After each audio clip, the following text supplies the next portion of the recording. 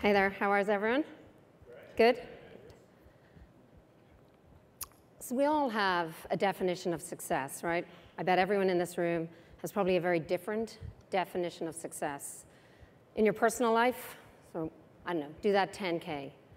In your professional life, get that promotion. And we probably have a plan that goes along with that. And right, if we just execute the plan, we'll be awesome, right? We're successful. Right, I wish it was that easy. So that's clearly not what happens.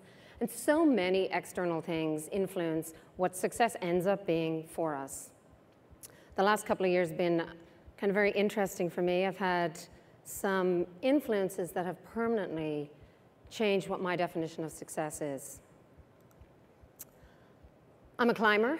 I've been climbing for 27 years. It's been amazing. Um, I've had so many gifts from it. I met my husband, Terry, uh, 17 years ago, climbing Mount Shuksan up in Washington.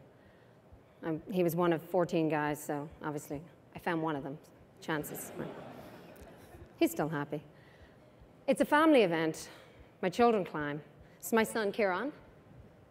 He was 11. He trekked to base camp with me. He was supposed to be here today, but his math tutor said, no way. So he is at math. So climbing has been such a big part of who I am. In 2013, I had the chance to, I was asked by one of the teams I've climbed with to climb Everest. And so I said, absolutely, sounds terrific. Climbing Everest takes about two months. It's a fairly long, arduous process. But if you've got the right team, things can really be amazing. About three weeks into this climb, I'm walking, walking, I wish. I was climbing through the Khumbu Icefall, and I hit my arm off one of the ladders. Didn't really notice it at the time. Finally get up to Camp 2, and that next morning, I wake up and my arm is, I mean, it looked like Popeye. From my elbow down to my fingertips, the thing is huge. And as everybody in this room knows, altitude and swelling, not a good combination. So I got down, I went back to base camp, helicopter, helicoptered back to Kathmandu, and spent the next five days working with the medical team down in Kathmandu to see what they really were concerned about, which did I have blood clots? And thankfully I didn't. So at the end of sort of five days of therapy, the doctor says to me, you know, you, no real medical reason why you shouldn't actually go back. But you know what? You had a bit of trauma. Go climb something else, something a little less. And I'm not going to lie, people who climb mountains have egos. And if I wasn't going to climb Everest, I'm like, screw it, I'm going home. So I called my husband Terry and I was like, I- am just coming home. It's not, it's not even worth it. So I flew to Hong Kong that night, and the five hours, that, that journey to Hong Kong was torture. I had all of these, I'm like, I think I've left too soon. I gave up on something that I could have done. So I got off that plane, rang my husband, I'm like, I'm going back. I know. That's the crazy one. That's a different talk. We'll do that the next time. So I go through customs. I take a left, I buy another airline ticket, go back through customs, get on a plane back to Kathmandu, and I land 10 hours after I left. So I join the team. So I go back, I trek back into base camp, and I rejoin the team. Things are great, and we're on what we call the summit push. And the summit push is the last two days. It's really usually at the end of the climb, and you go from base camp to camp two and four. Hopefully you summit safely, you come back down. So we're heading up to the summit, something very interesting happens when you're close to there. It's like eight weeks in, so your adrenaline's flying, you're super excited. And it didn't feel amazing, but you know, close to the summit, so I'm like, yeah. Until a point we had a break and I checked my O2 sat. And when you're on four liters of oxygen, even at 27,000 feet, your O2 sat should not be 13%. So, faced with a decision. Lots of us are faced with tough decisions, things we don't want to do, right? Even if the answer is so obvious. And in that moment, I knew that I'd summit if I wanted to, but I would definitely die up there, so I decided to turn back.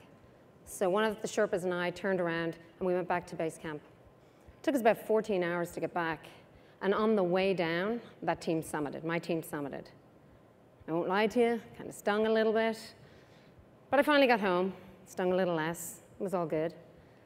But I did learn, right? I learned that lesson that you know the right thing to do, when you know that right thing to do, when it's there facing you, do the right thing.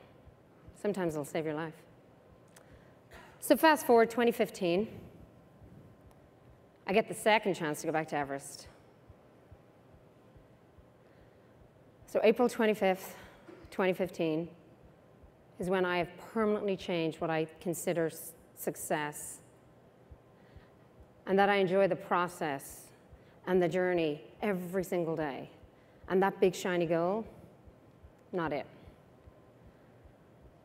On April 25th, 2015, a 7.8 earthquake hit Nepal.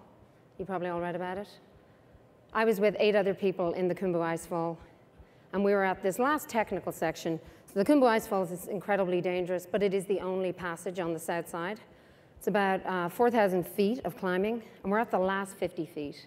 And it is a vertical ice wall, and you climb it by, you strap a bunch of ladders together, a bunch of cheap aluminium ladders together, and you fix them with ice screws, and you go as fast as you can.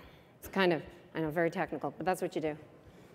So I'm halfway up, about 25 feet up, and this earthquake has caused this avalanche to come ripping down the side, the west buttress of Everest on my left and it's just feet from me. I just see it there. I'm sitting on this ladder and this avalanche is coming, and then things are just, just, just crashing beneath us.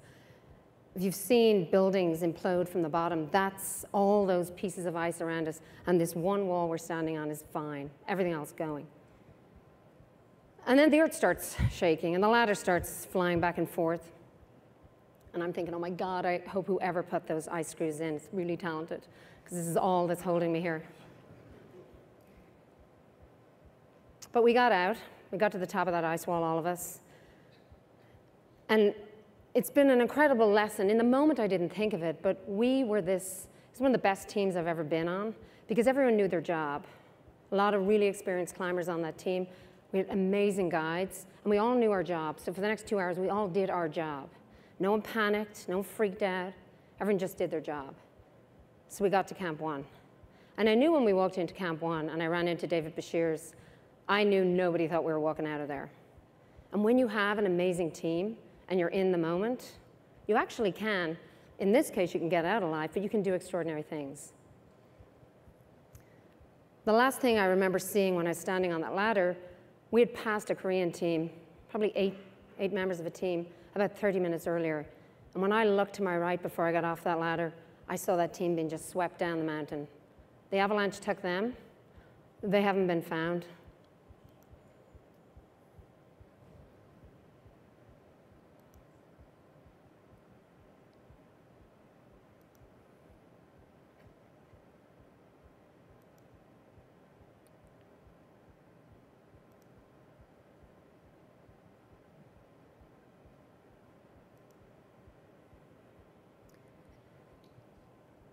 Lots of people, especially my husband, have asked me what I was thinking.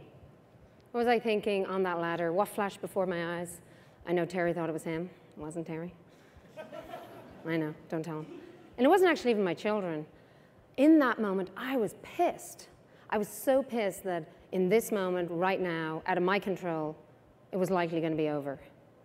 And the naivety of that, I didn't, right, I didn't accept that it wasn't in my control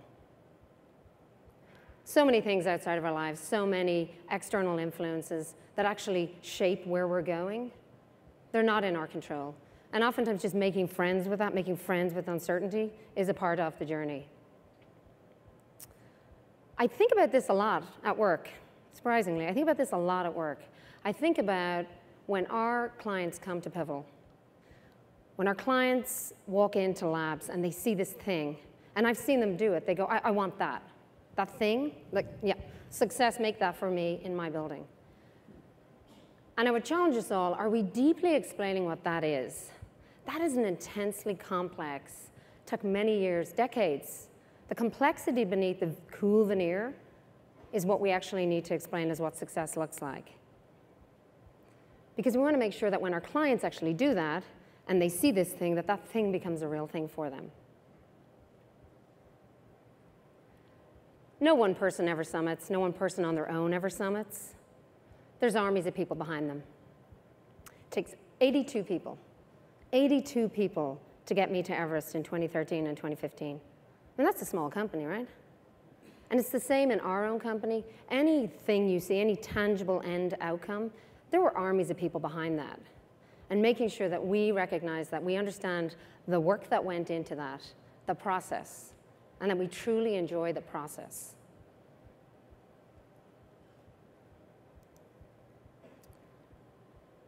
We call it the daily grind. It's not just a climber's thing, I'm sure it's everybody's thing, right? The daily grind is this you get up every day despite discomfort, and when you're on Everest, you sleep in a tent for two weeks. It's not that comfortable. It smells, there's no bathrooms, no showers, food's different. But every single day you get up, and every single day you just deal with that day. You solve the problems of that day. You don't think about the summit. And sometimes you can't even think about the day, you just think about the hour ahead and you solve getting to the next rest stop. And solving these big, enormous challenges, thinking of these grand success ideas, they're solved in small ways. They're solved by getting your pack up every day, even if it's uncomfortable, and just looking ahead. And then over time, as you solve these problems, you look back and you see a trail of problems solved and a path forward. So finally, I hope for all of us all of us at this company and all of us in our personal lives, that we really appreciate the process. We appreciate the journey. Whenever I talk about mountains, I never talk about a summit. I always talk about the eight weeks getting there and the friendships I made and the fun we had. We have an opportunity here at Pivotal to do the right thing for a huge amount of people. So let's make sure we do that. And the most important thing, and we did it on the mountain, we did it when we were scared getting to Camp One, is just have a laugh. It's the most important thing. That's success. Thank you.